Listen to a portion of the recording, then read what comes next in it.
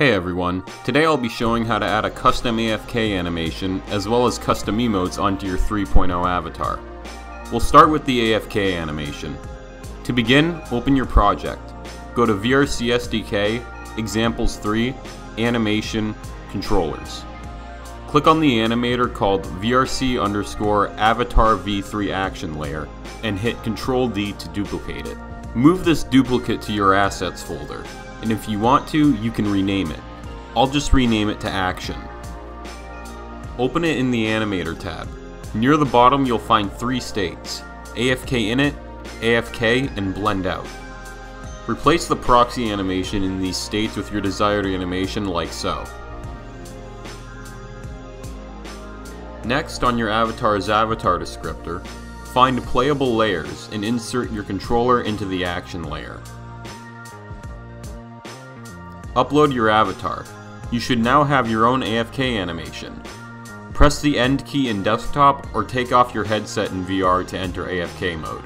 If you aren't entering AFK mode, make sure you have AFK detection set to on in the config section of the action menu. Now for emotes. Open up the same action layer we just made for our avatar. At the top and middle, you'll find the default set of VRChat emotes for standing and seated states. Delete them all and drag your animation into the controller. Create a transition from prepare standing to your animation with the condition VRC emote equals 1. Then create a transition from your animation to blend out. If you want your emote to loop, add the condition VRC emote not equals 1 and disable exit time. When adding more emotes, make sure they're all using different values for the VRC emote condition.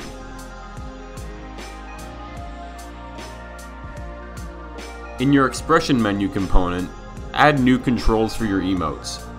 Set their parameter to VRC emote and set the value to its corresponding value in the controller. If your emote is meant to loop, set the type to toggle. If not, set the type to button. Upload your avatar. Your avatar's emotes should now show up in your expression menu.